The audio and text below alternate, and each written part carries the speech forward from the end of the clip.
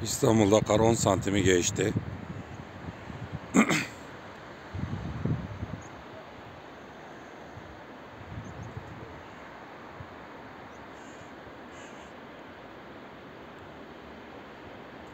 Şantiyede çalışma yapılmıyor şu an.